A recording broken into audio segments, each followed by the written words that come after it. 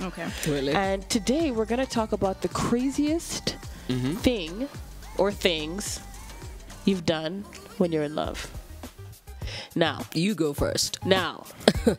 so, before I expose myself, In the last year, let me expose in the last the three years, in There's a my- time I had to take additional Bible study classes. You know, like every Thursday makes evening, Brother every Ochola. Saturday. yani, Brother Ochola was here. a brother has to do what a brother has to do. Uh-huh. Yeah, so yeah, And then the minute it ended, you were like Bible study ni nani. bus.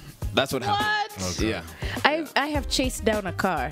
Like I chased down a car. Hey, what's on you? You chased down a car. Yes, yes. Oh my goodness. And started running. So he's running towards the car, and I'm like, what? The love of my life is getting away. So even me, I take off after him. Do you know he like he caught up to the car. He jumped on the on the Hood on the back. on the back. Uh-huh. He held on. His boy then drove off. As I'm running,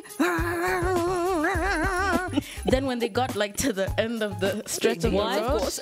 he, his boy then stopped and he got into the car and then they went. when they off. knew you couldn't catch up. Yeah. Then I still kept running up until I was like, my okay, they're gone. Wow. Okay, they're gone. oh my That's god. That's not dumb things you do for love. That's crazy. That's what. That's, what, That's- that was the question. that's Crazy the things you've done for love. What I'm.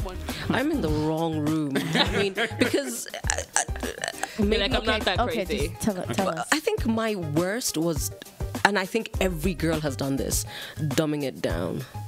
Mm-hmm. Yeah, you you you figure that the only way you're gonna keep this guy is if you can just be just dumb enough. Not too intellectual. Not no. So if he Not lit, he too asks you, so have you seen time? And you're like, iyo ni nini?